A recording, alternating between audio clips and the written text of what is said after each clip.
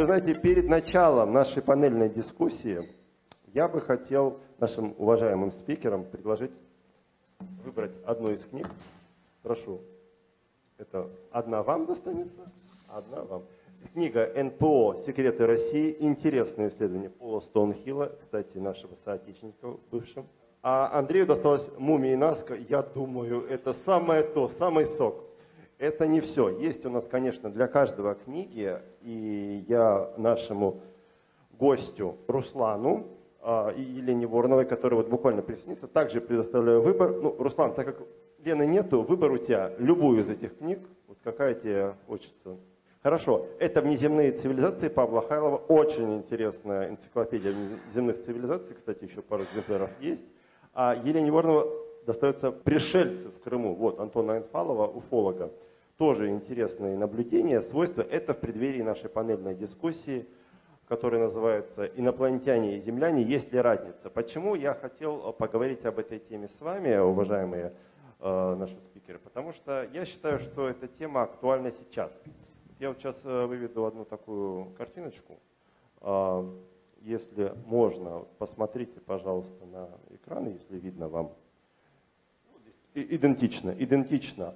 Давайте начнем биолога. Вот как вы считаете, это изображен а, землянин или инопланетянин? Да, если, если вам нужно, посмотрите, пожалуйста.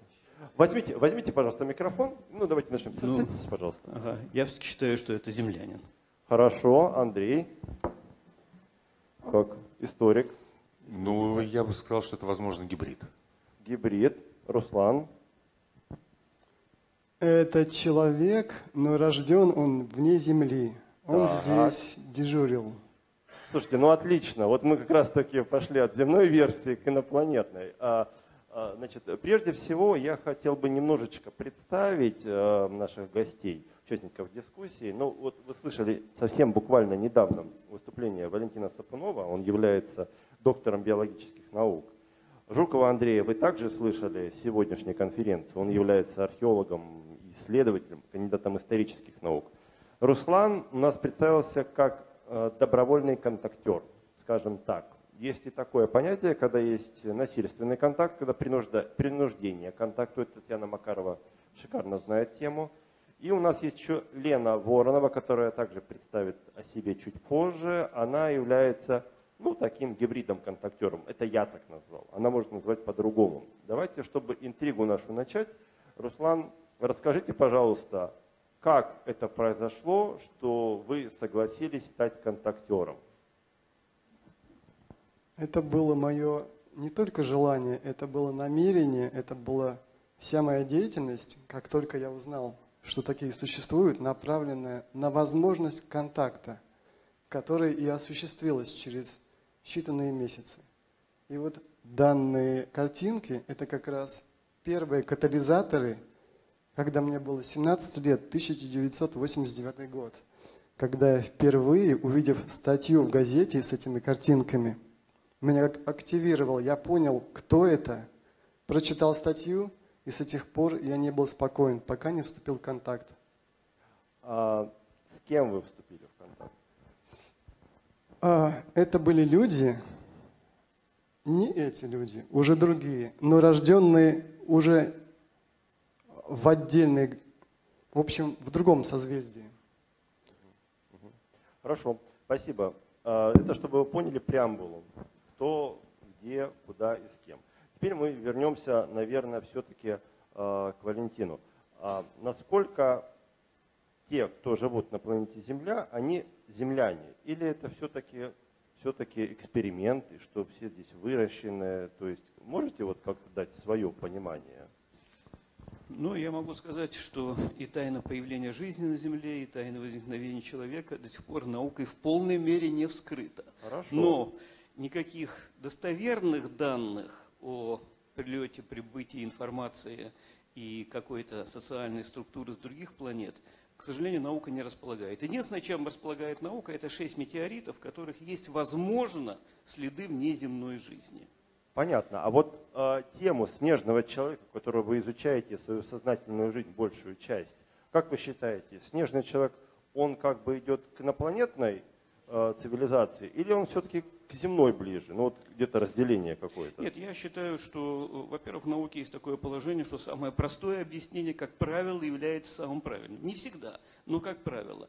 И, в принципе, э, современная биология, в общем-то, может объяснить все или почти все феномены, связанные со снежным человеком. Ну, в итоге вы считаете, что снежный человек – это подкласс человека, ну, из названия, да, и Snowman есть английский вариант, или же это все-таки что-то инородное? Нет, это не подкласс, это, во-первых, другой вид. Мы Homo sapiens, человек разумный, он Homo troglodytes, э, термин, введенный еще в 18 веке Карлом Линнеем. Так что это другой биологический вид, э, но э, который имеет уникальные особенности, в частности, это психофизическая форма организации материи, которые в какой-то степени могут быть поняты, используя аппарат современной биологической науки. Хорошо, а теперь вопрос на 5 баллов. Есть ли инопланетяне на Земле?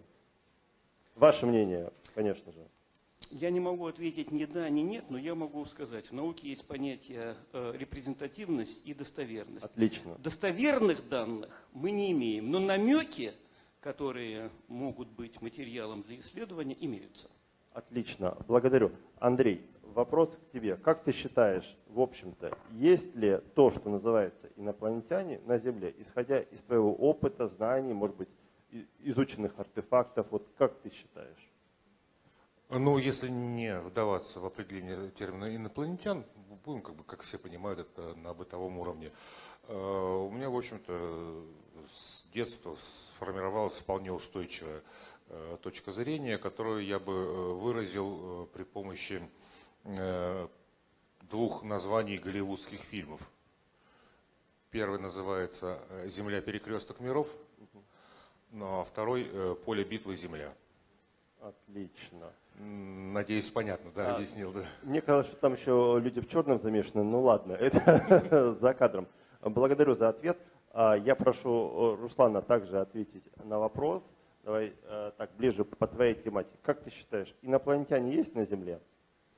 Конечно, и достаточно много видов, и это подтверждено моим личным и астральным, и физическим опытом. А много видов это сколько?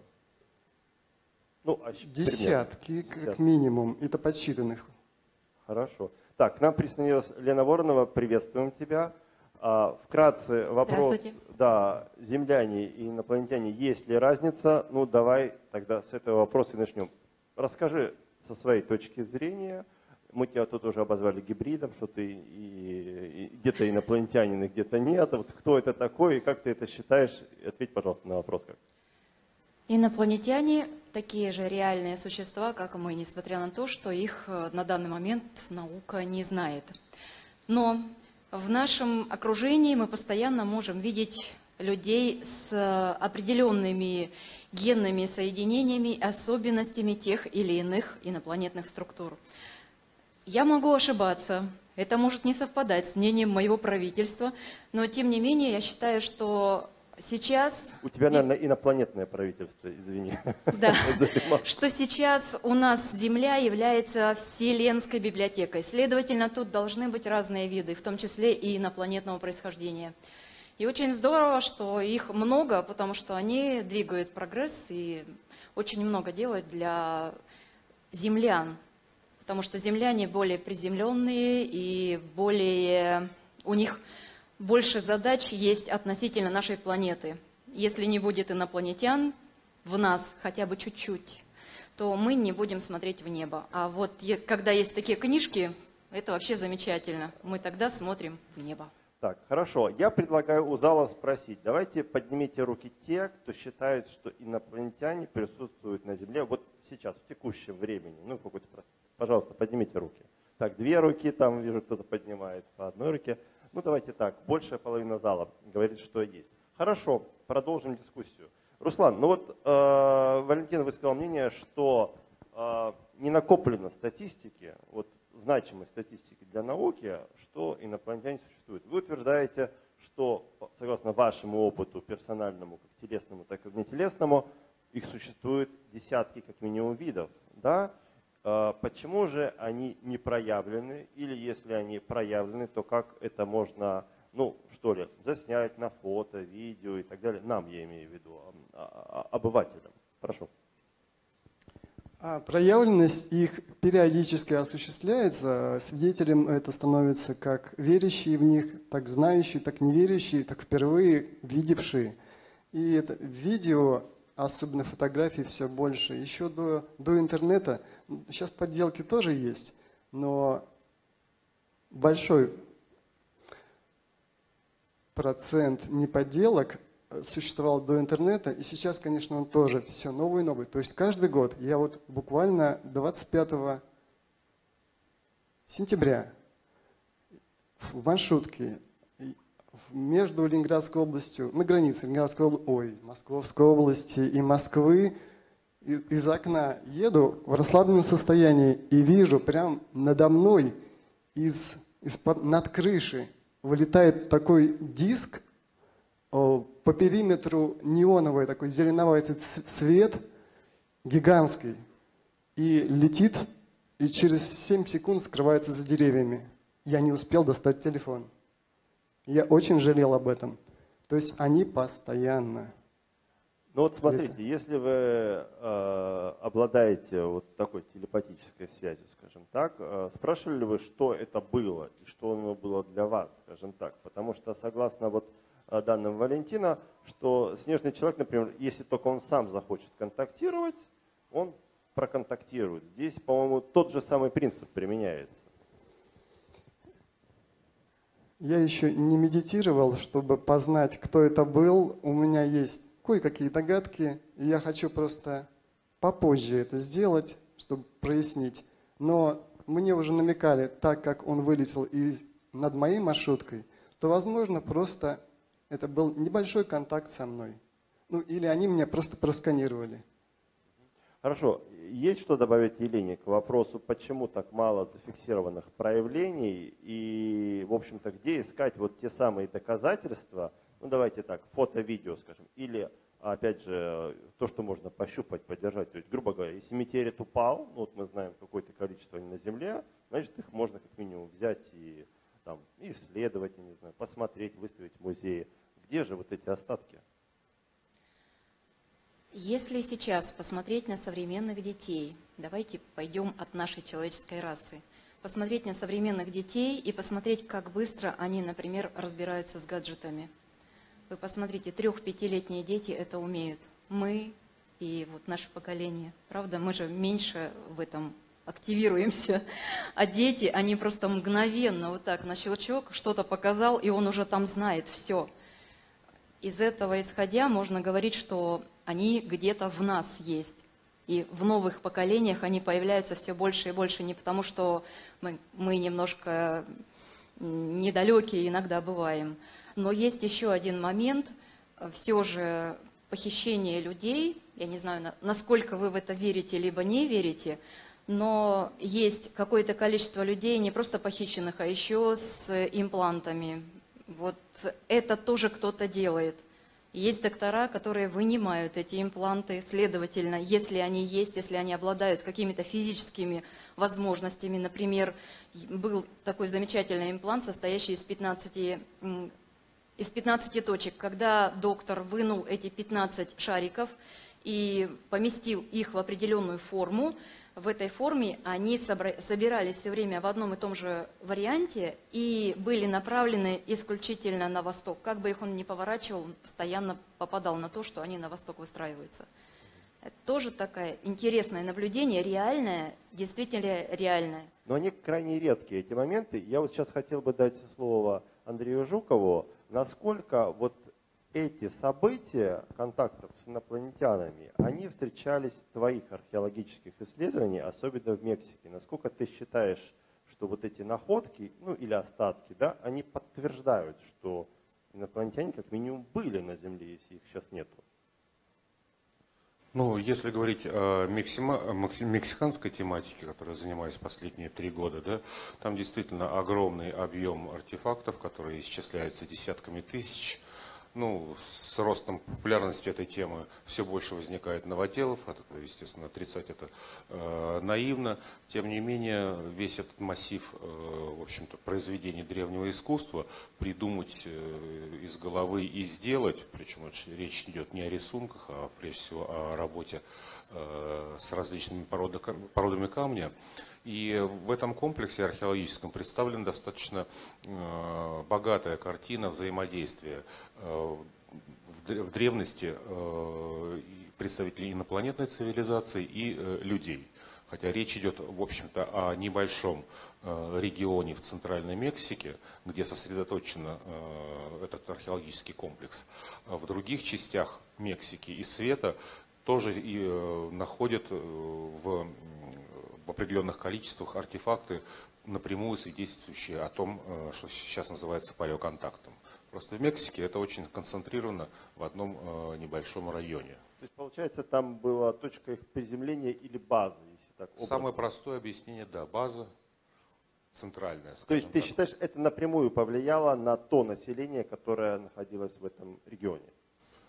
Э, думаю, да, что вообще, во, всяком случае, в одном из докладов, посвященных этой тематике, я выдвигал предположение, что появление э, хорошо всем известной нации ацтеков э, было результатом исхода именно из их мифического, мифической прародины Акстлана, и переход их на юго-восток в зону озера Тискока, где сейчас находится столица Мексики. То есть, по моему предположению, это было инициировано именно или э, поводом для этого служил, послужил, э, ну, допустим, конфликт э, с представителями инопланетной цивилизации. Ну, получается, вот таких экспериментальных зон, я назову это так, они были, существовали в прошлом, и, в принципе, они подтверждаются вот археологическими какими-то находками, которые мы называем палеоконтактом, да? Но я слышал также версию о том, что те, которые проводят эксперименты биологические, я говорю, ну, те, кто обладают знаниями, они могут использовать вирусы для программирования или перепрограммирования, или как бы для каких-то получения свойств биологических существ. Вот я прошу, Валентина, вас прокомментировать. Насколько это вообще реально, нереально, и что вы думаете на эту тему? Ну, я позволю себе напомнить, что важнейшее открытие генетики конца 20 века – это было открытие явления горизонтального переноса. То есть вирусы имеют гигантскую роль в информации. Еще задолго забвения интернета в природе существовал интернет. Все организмы постоянно обмениваются информацией. Э, информация может перейти не только в ходе полового процесса от человека к дереву, от дерева к слону, от слона к насекомому и так далее. То есть это функция вирусов. То есть в принципе использовать вирусы для переноса конкретной информации теоретически возможно. И природа уже давно отработала этот вариант единственное, могу сказать на эту тему. Ну, слышали вы или как бы предполагаете, что современная наука или цивилизация, она может вот с помощью вирусов перепрограммировать? Вот это маловероятно, потому что уровень развития молекулярной генетики еще не настолько велик, чтобы реально управлять этим процессом. Поэтому и в искусственное происхождение вредоносных вирусов я тоже не верю. Хорошо. Значит, следующая преамбула, что регрессионные исследования, в частности тех людей, которые подвергались абдукции или похищению, вот мы начали о них говорить, а, да, они существуют, но также есть так называемые обязательства или контракты, в результате которых это происходит. Вопрос Руслану, если вы а, знаете о таких случаях, то первое, почему это происходит и какого отношения тех, с кем вы контактируете, вот творящемуся безобразию с точки зрения людей. Абдукция, похищение, да? Это всегда во всех случаях происходит согласие, либо онлайн согласие, либо согласие данного где-то в детстве, желание выраженного контактировать, общаться. Но у вас было желание контактировать, да. оно же не привело к вашему похищению, или вы, может быть, об этом не знаете? Да, наверное, есть что-то, что я не знаю, потому что я до сих пор вскрываю свое прошлое поступенчато. Или согласие могло быть дано до этого воплощения. Это конкретный договор. И даже существа из других цивилизаций просто воплощаются в эти тела, чтобы потом со своей группой работать по улучшению этих тел. То есть нас они улучшают постепенно через своих представителей, воплощающихся через нас же.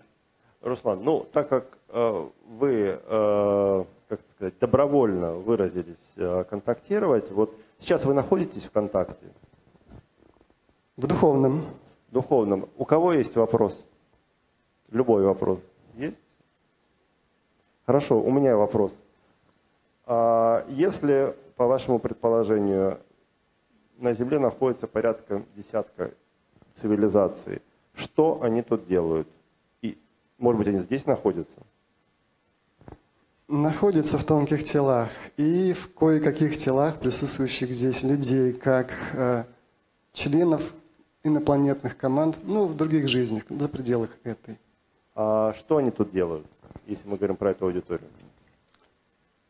О, ну здесь э, восстанавливают свою память, э, вспоминают, интересуются тем, э, пытаются понять, зачем они здесь родились. Это я говорю о людях, которых забыли, кем они были когда-то. А те, кто в своих телах рожденных, за пределами, дежурит, дежурит а, научные функции, которые распределены по а, и видам инопланетных цивилизаций, по га- галактическим сообществам, они распределены и по территориям, и по функциям. Эколо... Смотрят за экологией, смотрят за вирусами в том числе. Вот за этим ковидом тоже за помогают психологически, духовно, технически. Хотя некоторые слишком быстро нам дают какие-то технические знания, данные и даже роняют здесь инопланетные объекты, чтобы мы их могли разобрать и, возможно, кое-какие собрать и уже перемещаться на них. А, Руслан, ну следуя вашей логике, инопланетяне буквально находятся среди нас. Ну вот так. Вам не страшно, уважаемые гости? Что нас боятся-то, да. А, Опять же, иронизируя или нет, вопрос э, действительно, кто управляет телом, сознанием. Это хороший вопрос, такой сильный вопрос. Но я вернусь к другому моменту. Если они здесь, то зачем им управлять людьми? Им что, не хватает роботов или своего пространства и так далее? Что они делают на Земле? Присматривают за своими подопечными. Вот мы же разводим аквариумных рыбок, мы заселяем эко-территории, например, создаем не только зоопарки, а какие-то парки, в которых разводят животных. Также мы же свой детские садики создаем, школы. Вот примерно то же самое и с ними. Просто у нас стерта память у большинства процентов на 99. Но некоторые вспоминают. У, у вас есть э, ответ, почему стерта? У вас или с кем вы общаетесь? Для чистоты эксперимента и для отсутствия помех э, воспоминаний, что делал человек, какие он ве- вещи совершал с другими и с собой, за что бы был, ему было бы стыдно или неудобно.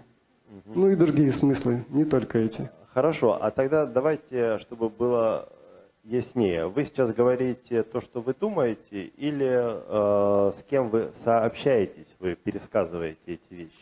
Это как раз комплекс моих мыслей. э, про- То есть это симбиотическая связь, я уже буду вот так спрашивать. Через каждого из нас идет энерго- энергоинформация, которая поддерживает и жизнь, и понимание, и через фильтры я пропускаю и выдаю что-то примерно искаженное от мыслей тех, кто своих высших я или своих других я. Хорошо. Правильно я понимаю, что вы частично пересекаетесь? Или это просто как общение по телефону? Кто-то там, а вы здесь? Или Кроме это мы- часть вас? Или это часть вас? Да, э, скорее я часть их. Да, в обратную сторону. Хорошо, но это чтобы было понимание. А кто они? Объясните для нашей аудитории, а, чтобы мы дальше продолжили диалог. Это разные формы жизни, от таких, как мы, в точности повторяющих нас, до немного других и вообще похожих на животных, на роботов в том числе, гибридов, и более, а, более тонких, более энергетических и даже плазма, плазмосферы. Вот опять же, у вас э, был первый контакт, по-моему, в период тинейджерства, да? Сколько, сколько лет, напомните? Э, Мне Да, сколько лет уже контакт продолжается? 30 лет, 30 лет контакт продолжается или вам 30 лет? а мне 48. Ну, то есть 30 лет контакт продолжается. Да. Да, то есть в течение 30 лет вы находитесь в контакте, добровольном контакте. И как произошел первый контакт? Кто это был? Какая цивилизация? Можете немножечко рассказать, чтобы мы поняли? И продолжаете ли вы общаться с тем, с кем начали общаться? Нет, уже нет, хотя при желании я могу с ними встретиться, но у меня с первым был контакт на протяжении шести месяцев. Потом они меня просто по моему желанию передали другим, ну, ага. своим учителям. То есть своим куратором, ну, так, куратор. То есть вы сейчас в какой-то такой средней группы или как, как это определить? А, когда я начал контакт, а, это были люди, которые, вот как мы, да. мы с ними вели диалоги каждый, ну почти каждое мое э, пребывание в расслаблении. Угу. Через шесть месяцев, э, во второй половине контакта, они познакомили меня со своими наставниками, кураторами, которые меня заинтересовали еще больше, и я выразил желание, а вы можете тоже со мной общаться, ну, примерно так же, как вот с вашими друзьями. Они мне поставили условия и дали испытательный срок, как я должен измениться, чтобы соответствовать их вибрациям. Ага, отлично. Вот этот самый момент, который мы вчера обсуждали на панельной дискуссии, я не знаю, слышали вы ее или нет, что изменилось у вас? Расскажите, пожалуйста, нам.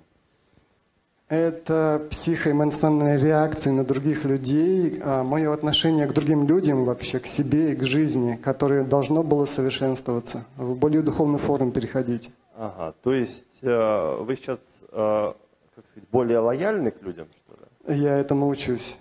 Отлично. Лена Воронова, прокомментируй, пожалуйста, есть ли у тебя контакт и как ты к этому относишься? Вы нас хорошо посадили рядом. Да, мы, мы долго выстраивали архитектуру. Спасибо. Это было хорошо, потому что от, извините, пожалуйста, от Руслана, да? Э, от Руслана очень пышет жаром обычно. Э, все контактеры, они либо очень холодные, либо очень горячие. Не знаю, сколько я их видела за 16 лет, вот э, они все вот такого плана. Лена, если тебе жарко, можем отсадить. Не-не, все, все хорошо, все замечательно, но вот тут вот очень горячо. Э, когда человек говорит правду, вот он как бы нагревает пространство вокруг. Для меня любой контактер – это человек, который включает такую микроволновку. И у него происходят какие-то определенные в поле изменения, и их сразу чувствуют, они сразу чувствуются, в них э, человек входит, что называется. И вот у Руслана тоже такая интересная система общения – и если я сейчас правильно понимаю, то там есть три очень интересных цивилизации, которые связываются и которым очень интересно передавать опыт. Но, я так понимаю, рядом с Русланом есть еще два объекта, которые тоже принимают этот опыт. Кто они? Руслан, если можешь, прокомментируй, потому что нам это неведомо пока. А, а вы намекните, потому что около меня много кто, и около вас тоже. Я бы нашу, э, нашу публику подсоединил, если у нас есть видящие, вы можете тоже прокомментировать, будет еще интереснее топку. А если можно, да, вопрос, давайте добавим вопрос из зала. Представьтесь и вопрос. Меня зовут Светлана. Вот вы говорите, что вы общаетесь, там общаетесь. На каком языке? Телепатия в основном. Телепатия все равно на каком-то языке. Как? Русский преимущественно. То есть вся галактика говорит по-русски? Нет, нет, нет. Иногда мы друг друга не понимаем. Понятно. Спасибо. Спасибо. Ну, мне кажется, здесь вопрос интерпретации. И вопрос языка – это тоже такой вопрос. А, давайте вернемся все-таки, если вы еще не улетели совсем в галактику, в каких-то невидимых существ и так далее, я верну приземленное русло. Вот на этот стол, пожалуйста. Э, Валентин, вопрос, наверное, к вам будет да, насколько можно считать инопланетными да, те вирусы, те микроорганизмы, которые в том числе могут обладать, о, пребывать в человеке. То есть насколько вот так можно считать. На уровне гипотезы такое допускается, потому что я уже говорил, что есть метеориты, в которых какие-то следы внеземной жизни, и есть такая теория, что э, вот вирусные заболевания, эпидемии привносятся из космоса. Ну, это, конечно, ставит дополнительные вопросы, как могли возникнуть на Земле существа с тем же генетическим кодом, что у нас, но так или иначе, это не исключено Э, и не противоречит основным положениям современной генетической науки. Отлично. Вот если вот Руслан и Лена утверждают, что инопланетяне где-то среди нас, они нам помогают, что-то улучшают, ну, возможно, и, как правило, с генетикой работают. Вот Андрей подтверждает, что в прошлом, скорее всего, так и было, по крайней мере, по остаткам тем. Да? Как это вообще можно проверить с точки зрения науки? Может быть, у вас есть какие-то соображения, как это можно легко проверить? Например, Э, я для аудитории скажу, мне предложили такой способ. Задать контактеру какой-нибудь сложный математический вопрос. Вот если он ответит его без калькулятора, значит он точно контактер. Я к примеру говорю, вот если, может быть, у вас какие-то соображения, как можно? Я могу сказать, что э, все-таки при всем моем уважении к контактерам э, и той информации, которую они сообщали, еще ни разу никакие значимой научной информации мы из их сообщений не извлекли. Отлично. А что такое значимая информация? Давайте попробуем понять вместе. Вот как вы можете... Ну, ну, это достоверная информация, и, допустим, информация о будущих событиях. Ну, дважды два – четыре – это достоверная информация. Ну, ну, в примитивном варианте. Да, ну, допустим, э, те знания, которые будут подтверждены в дальнейшем, вот таких ага. знаний мы ни разу не получали. Ага. А вариант про будущее, то есть это получается стопроцентное предсказание каких-то событий? Ну, да, допустим, не стопроцентное, но хотя бы... Э, наука вообще работает с уровнем доверительной вероятности 95%. Угу. Вот, если есть э, вот такое предсказание, то это уже наука. Все остальное, угу. к сожалению, требует дополнительных проверок. Хорошо. А, Андрей, тебе вопрос. Встречал ли ты события или явления, которые ты приписываешь ну, в своих исследованиях, в своих экспедициях к инопланетной деятельности? Я говорю про настоящее время, наверное. Ну, ну ты имеешь в виду какие-то материальные остатки? Ну, любые события, явления, Или может события. быть, э, события, явления, я сказал, большей части, потому что материальные, если бы у нее были, ты бы их точно приш, принес на конференцию непознанное. В прошлый раз приносил. В прошлый раз это было, точно было.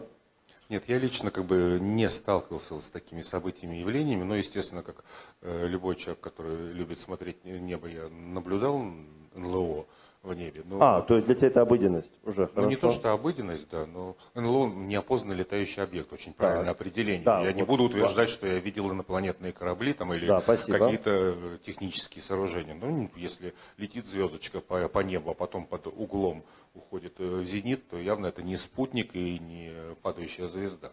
Неопознанный летающий объект. А контактов второго, третьего рода у меня, честно говоря, не было. Вот, были определенные видения, э, но, так сказать, э, это чисто субъективные вещи, которые, как и в ченнелинге, да, никто подтвердить не может. Вот как ты считаешь, вот Валентин сказал, что значимого подтверждения для науки, по крайней мере, пока еще особо не произошло. Ну, по крайней мере, не зафиксировано. Как считаешь, что для тебя могло бы быть значимым? Ну, э, как человека тоже недалекого от науки все-таки ты. Ну, принцип здесь как бы простой. Вынь да положь. Да? Ага, то есть дайте да. мне лазер, и я скажу, что... Да, да. Или да. ответьте, вот дайте мне вот э, новую математическую формулу, как Валентин говорил, да, угу. через э, контакт и тогда это будет подтверждение. То есть, Но... грубо говоря, если тебе скажут, где золото лежит, и ты пойдешь проверишь, это будет являться доказательством. Да, но то есть мы э, подходим э, в данном вопросе с точки зрения, в общем-то, э, бытового потребительства. Мы хотим получить то, что нас устроит. Согласен. При этом мы можем не видеть того, что нам и так дают, вот. А мы его, это, этого просто не воспринимаем, потому что наше сознание не, не настроено на такие события, на такие вещи или артефакты. Мы их просто не замечаем. Вот, Виталий говорил про пример про перекресток как люди что видят. Это же особенность человеческого восприятия, свойственна нашей природе. Поэтому Э, вот э, контактеры, да, они обладают чисто субъективной информацией, и э, мы можем ей пользоваться только вот с их слов. Вот, но из головы не, не вынешь предмет, да, и не положишь на стол. Ну, то есть ты хочешь сказать, что если три контактера э, заговорят на одинаковом языке или будут говорить одинаковую информацию, то это может являться подтверждением? Не обязательно. Они могут быть все трое э, на одном канале. Договорились, да? да? Нет, на одном канале и получать трансляцию от ага. одного источника. Вот так. С, с целью дезинформации. Вот так. Кстати говоря, вот, Валентин, продолжая ваш тезис, да, э, действительно, я знаком как бы с этой темой тоже. И, в общем-то, действительно тоже не сталкивался, чтобы контактеры давали какую-то принципиально новую информацию, э, неизвестную нам. Но э, это не является подтверждением ложности этих контактов. Во-первых, э, с какой стати нам будут что-то новое давать? Это раз. Во-вторых, нам могут давать чистую дезинформацию. Это два. Причем такие примеры есть как бы и в нашей истории, как, допустим, китайцы э, европейцам э, рассказывают про свою философию так, чтобы европейцы эти лупоглазые что-то поняли, вот, а свое понимание не могут перенести и не хотят.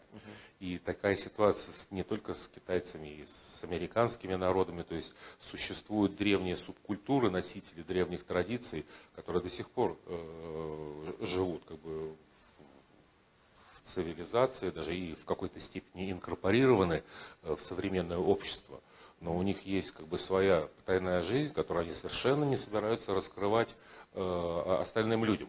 Это я говорю про э, людей. Да. Что да, уж говорить да. при представителей, так сказать, Выше, других более высшего разума, да. Ну, не обязательно высшего, кстати Хорошо. говоря, да. да. Альтерна- альтернативного. Разума, да. Да.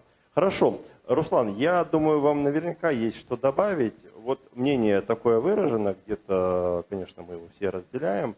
А, в общем-то, если мы говорим про нас как людей, как сообщество, как нацию, как человечество, да, вот э, действительно, вот как, как, какая информация может быть являться для нас вот именно значимой? Вот как вы считаете? Как, как считают те, с кем вы общаетесь, кураторами? Если вы говорите от лица кого-то, пожалуйста, озвучивайте. Поскольку мы постепенно стали слишком технократической цивилизацией, при которой капитализм, империализм, а, феодализм стали преобладающей политической системой, экономической в том числе.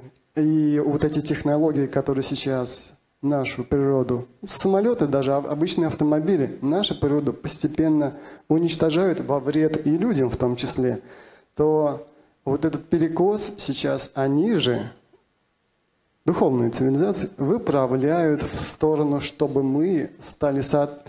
начинали а, вырабатывать в себе качества энергетические, которые соответствовали бы поддержанию этой технократии в сторону улучшения жизни, но не ухудшения, в том числе не истребления себе подобных.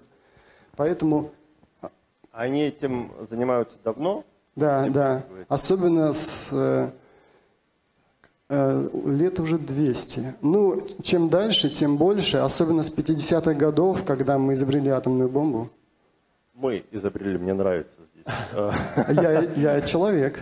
Хорошо. А, это здесь привязка к словам, конечно же. Ну вот смотрите, вы утверждаете, что есть способствование да, миру на Земле, но ведь мир всегда воюет, да, то есть можно сказать, что это какое-то такое вшитое свойство человека, э, враждование. Все-таки давайте вернемся к другой части вопроса. Вот, э, говорится, Э, ваш соседний стол, да, правое полушарие, левое полушарие в, данном, в данной экспозиции, предположил, что если вы через вас могут дать информацию, которая может быть достоверно проверена, то есть вот сегодня, например, 8 ноября, можете ли вы через вас что-то рассказать на неделю или дни или какое-то другое время вперед, что оно произойдет, что мы можем свидетельствовать, все мы здесь находящиеся. Можно видеть замыслы тех или иных э, правительств, спецслужб, структур, которые в том числе и этот ковид э, замышляли, и в том числе и его последствия. А, хотя это можно добыть из тех же, с того же интернета, но прогноз сделать или доказать никакой контактер не может, потому что он будет подвержен опасности – подкупа, угроз, а также его жизни со стороны других спецслужб, как и государственных, так и частных. А, хорошо, вопрос ребром. Можете ли вы что-то сказать нам для верификации, скажем так, для проверки? То, что не будет угрожать ни вам, ни еще кому-то и так далее. Давайте так, нейтральную информацию. Предположим, вспышка на солнце. Подойдет такой вариант? Ну, она же никому не угрожает, если она будет, но относительно небольшая. Вот, если она критическая, тем более самое время рассказать всем присутствующим о том, что оно может произойти. Или та же самая планета Нибиру или аналогичная, которая пугает, что она подойдет или подошла, или вот-вот подойдет, или скрывается за Солнцем, еще за чем-то. То есть давайте вот такие какие-то вещи э, можно порассуждать. Э, может быть, опять же, тоже потепление или похолодание, на которые даже ваши слова не произведут впечатления, но, по крайней мере, будет информация, куда плыть. То есть какое-то доказательство, которое может осуществиться вот в ближайшие дни, месяцы или Ну, какое-то какое время, если это мы говорим, конечно, жизни мы не доживем до этого, наверное, в этом теле, чтобы сравнить. Но хотелось бы побыстрее, да, чтобы, чтобы верифицировать. Если вам нужно время подумать или пообщаться, пожалуйста. Будет ли это доказательством, что в будущем, 2021 году, а, к сегодняшнему популярному вирусу, которого часть населения боится, будут относиться настолько просто, как к гриппу. То есть интенсивность страха перед ним будет уменьшаться. Это является каким-то прогнозом? Ну, и прогнозом это является. Вопрос, насколько насколько это, скажем, давайте так, это один из вариантов два. Либо так, либо не так, давайте так. Это все-таки 50%. Э, согласны? Вот я думаю, сейчас Екатерина нам добавит жару. Прошу. Я, наверное, в защиту Руслана. А, дело в том, что прогностикой занимаются темные, инфернальные всякие миры. И просто у меня есть история из 91 -го еще года – Э, когда один молодой человек после э, сильного алкогольного опьянения проснулся, у него в голове были голоса. И он э, говорит, я вас не верю. Они говорят, то мы сейчас тебе докажем. Через неделю погибнет один очень известный певец и артист, и никто так никогда и не узнает, кто его убил. И через неделю Талькова убили. Вот. Но это были конкретно инфернальные сущности, которые у него подселились. То есть ни разу э, высшие существа или из параллельных цивилизаций не давали э, прогностики, потому что э, как только появляется прогностика, она начинает менять историю. Как только мы здесь ее озвучиваем, начинает история меняться. Я здесь, наверное, добавлю, у нас вчера был доклад, э, у нас э, значит, презентовали «Сила мысли» Смирнова, и она показывала наблюдение за фотонами, которые, если за ними наблюдаешь, они начинают себя вести по-другому. Да? И здесь, возможно, имеет смысл, что если мы начинаем фиксировать, то есть наблюдать или визуализировать да, предстоящие события, возможно, они также изменяются. Это, опять же, такая модель, которая, может, дискуссионная, я бы сказал. А, Все-таки вопрос, если мы говорим про какие-то критические события, хорошо, я уловил аспект. Давайте поговорим про позитивные, что, предположим, будет большой громадный улов чего-нибудь, там, грибов, улов, рыбы, не знаю, давайте пофантазируем и так далее. Давайте посмотрим в другую поставить, что можно предсказать. Или предсказать, опять же, что будет хороший, не знаю, там, не знаю, перелет, предположим да? А, Руслан, здесь вопрос дискуссионный. Давайте так, если э, те высшие цивилизации, мы предполагаем, что они высшие, э, они в состоянии понять, что нам требуется, или верифицировать, они в состоянии придумать тот э, момент или аргумент, который вот будет интересен для нас, для человечества, которое собралось вот здесь в дискуссионной панели. Они как э, те, кто от кого я получаю энергоинформацию, они больше заботятся как о моем духовном, морально-этическом состоянии, так и о тех, кто со мной общается. Вот это моя основная функция. А по поводу того, что изобретут, кстати, они это проводят через тех самых ученых, что откроют, что обнаружат. Они как раз и их в том числе и вдохновляют. То есть у каждого человека есть свои, кто его и ведет через его интересы. Хорошо, здесь мы уходим уже в пересечение миров. Я предлагаю Лене Вороновой рассказать, как она видит эту экспозицию, насколько вот действительно можно привести подтверждающие моменты, вот озвучить вот в эфире, сейчас прямой эфир, в частности, на наших зрителей, и как это вообще можно привести к доказательной базе, которая будет ну, удовлетворять, ну, по крайней мере, большинство. Я очень хочу ответить Валентину, если можно. А, в свое время, когда у меня только тоже начиналось вот такая, такое чудо, как у Руслана, ко мне пришел один инженер, нанотехнолог. И он занимался решением, они делали какую-то такую энергетическую коробочку, которая может одна, практически вот эта коробка, давать такое количество энергии, которое, например, такой город, как Хабаровск, может полностью обеспечивать электричеством в течение какого-то времени. Вот. Они там застряли на одном элементе. Когда он пришел, я у него попросила схемы, я не знаю, что я делала, я просто галочки ему поставила вот в каких-то схемах. И затем, через несколько дней, они додумались, что они там делают неправильно, точнее, видимо, был какая-то вспышка, либо еще что-то. И они сделали КПД вот этой вот коробочки не 100%, 120%. И говорят, что такое невозможно. Это к тому, что все же, если давать конкретную задачу, то можно получить конкретный ответ. Я вот об этом говорю. Сейчас все у нас гипотетически так получается, а вот при конкретной задаче всегда получается ответ. Хорошо, давайте поговорим о благах. Вот что можно предсказать такого или ну, через э, информацию, либо через действие, что вот оно будет во благо человека, человечества, группы лиц и так далее. Вот если мы уходим в такие аспекты. Да, ведь э, по заявлению они нам помогают, способствуют, способствует, ну, по крайней мере, та часть, которую вы ретранслируете, духовному росту и так далее. Руслан, чем вам помогли в течение 30 лет?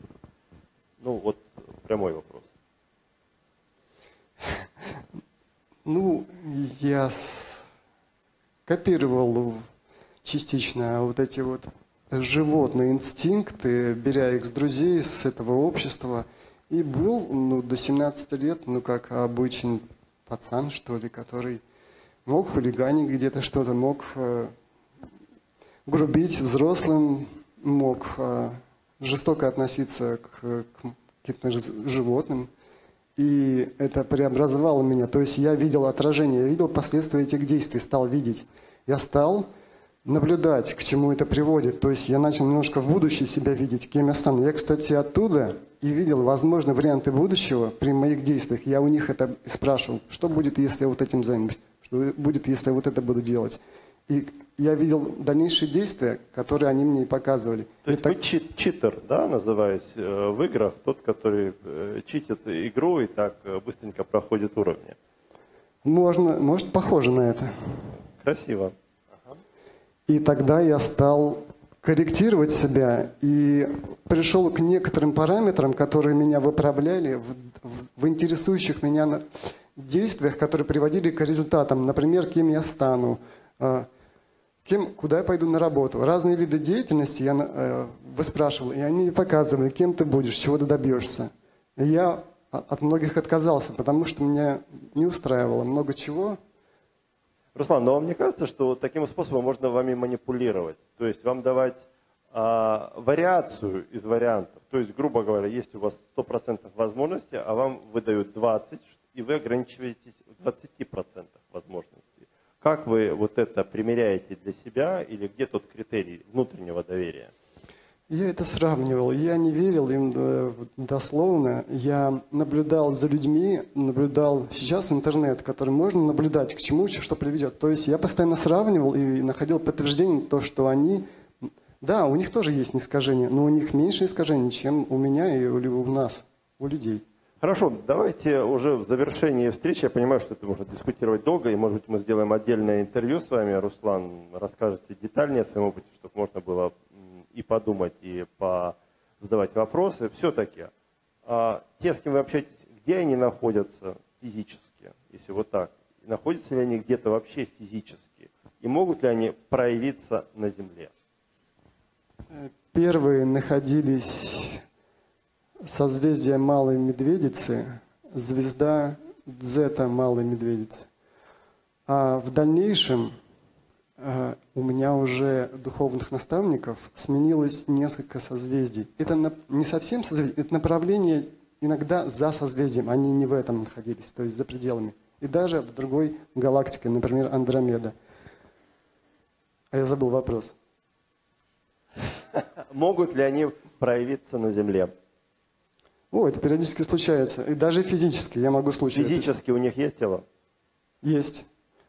Какое оно? Похоже на снежного человека? А вот а, интересный вопрос. Кстати, снежные люди, насколько я выяснил, это много видов, немного отличающихся друг от друга, расселенных, их очень много. Это и те, кто когда-то одичали, вот обычные люди, и те, кто ушли в лес или в одиночество, или своими группами, но в тысячу, несколько тысяч лет назад. И еще это гибриды, а еще и мы гибриды, которые от, отсоединились друг от друга. То есть если нас вели техноклассическим путем, ну или разными путями, через войны, катаклизмы, то это те, кто углубились в природу, в способности, в чувствительность и, и развивались чисто сами. Это как ответвление – развивающихся людей, но эволюционно, чисто с природой. Хорошо. А с кем вы вот сейчас в контакте? Есть ли у них для нас какое-нибудь послание, скажем так, для тех, кто смотрит, слушает? Сейчас немножечко надо да. расслабиться, да, в медитативное состояние войти.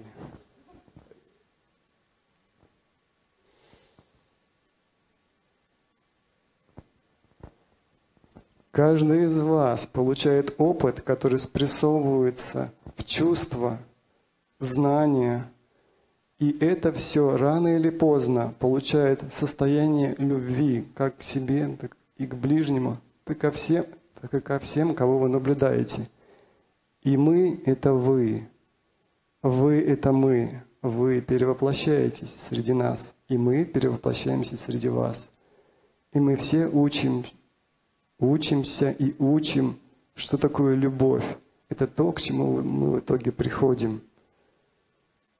И мы неотъемлемая часть вас, так как и вы нас.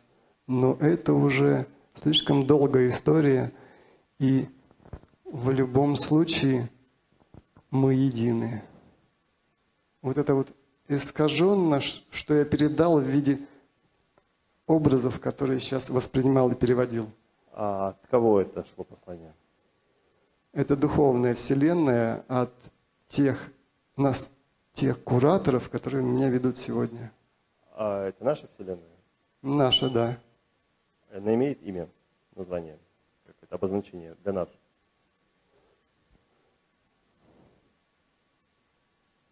На самом деле он немножко предвидел, это был мой вопрос. Есть ли разница земляне и инопланетяне? Фактически ответ э, содержался в этих словах. А их э, звуки, их э, образы, их звучание, вибрации невозможно передать не только в точности, а даже потому, что это на больше, чем одно измерение выше. Хорошо. Раз у вас есть такой мостик, э, благодарим. А, Елена, я прошу тебя ответить завершающий вопрос. Земляне и инопланетяне, есть ли разница? Судя по тому, что... Если отвечаешь не ты, то тоже сообщи нам. Нет, я не буду входить в контакт, это неправильно. Потому что нужно входить в контакт тогда, когда все готовы. В этом зале не все готовы, к сожалению мы можем порушить некоторые психики. Мы их уже порушили. Лена, сегодня завершение конференции. Нет, можем, можем, серьезно. У человечества есть будущее, это самое главное. У человечества есть будущее. Э, Земля готовится к большим переменам сейчас. Уже началось с нас. Дальше будут, будут еще более интересные вещи, связанные с э, подвижкой континентов, и с физическим изменением наших тел, тем воздухом, который мы дышим, которым мы дышим, и тем пространством, которое мы вскоре увидим на звездном небе.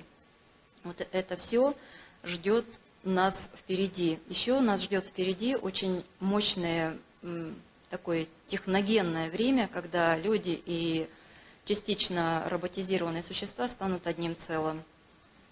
То, что мы сейчас боимся, в большинстве случаев оно произойдет. То есть э, чипизация, вот, о которой говорится, она все же произойдет, но, но будет выбор между одним типом и другим типом. И очень здорово, если вот тот второй тип, который сейчас э, менее, будем говорить, менее нацеленный на разрушение, он будет э, в нас внедрен. По сути, мы с вами все уже чипизированы. Только эти чипы находятся у нас не в телах, а в наших хромосомах. У всех есть спящие хромосомы. Это все медики знают, все генетики знают. И как только они проснутся, мы с вами проснемся уже все инопланетянами. И вот это на самом деле самое страшное, потому что в нашей планете не будет смысла. Давайте будем думать самые лучшие вещи, которые дадут нам все же оставаться людьми. Это самое главное. А люди – это очень многообразные существа с очень сильной программой разнообразия и, самое главное, выбора. Как только у нас закончится выбор, мы перестанем быть людьми. Поэтому желаю всем оставаться всегда с выбором. Так, в итоге, Лена, ты закрутила очень сильно земляне и инопланетяне. Есть ли сейчас разница? Да. Да, есть. Да. Все. Хорошо, я прошу Андрея финализировать такой, такой же вопрос. С твоей точки зрения, земляне и инопланетяне, есть ли разница? Ну, слова разные, значит, разница есть. Хорошо, хорошо, лаконично. А, прошу завершить также ответ на вопрос, Валентин. Ну, видите ли, я не имею сведений о инопланетянах. Вообще, э, современная наука и технология утверждают, что полет другим звездам невозможен на уровне современной техники. Но если цивилизация обладает совершенно другими возможностями, то нам трудно договориться. Ну, можете себе представить ситуацию. Современный э, профессор физики попадет в школу Аристотеля и начнет читать лекцию по ядерной физике. Его никто не поймет, и никто не сможет использовать эти идеи. Вот, так что поэтому и контакт между разными уровнями затруднен. Поэтому я, так сказать, затрудняюсь ответить на То есть вы пропускаете этот, этот ход? Да, я пропускаю. Хорошо. Мы благодарим всех участников конференции. Поаплодируйте, пожалуйста. Да. Это была завершающая панельная дискуссия. Действительно, есть о чем подумать, подискутировать. Я благодарю всех вас.